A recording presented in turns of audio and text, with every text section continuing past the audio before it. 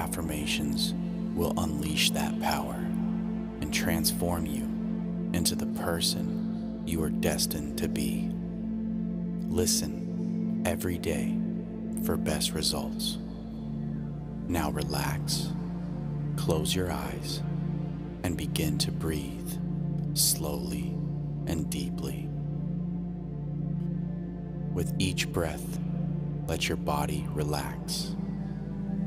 The ideas you are about to hear will become your own. There is no need to stay awake.